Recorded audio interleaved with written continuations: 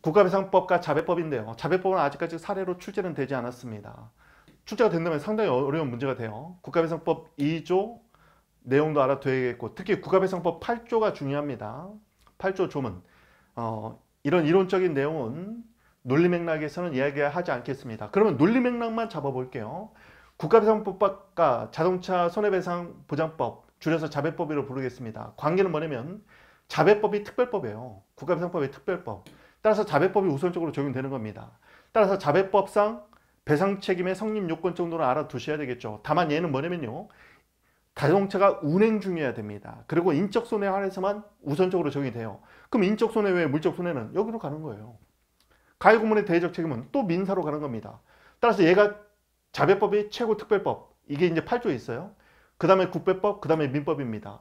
민법상 손해배상 책임은 가해공무원이 고의 중과실이 있을 때겠죠.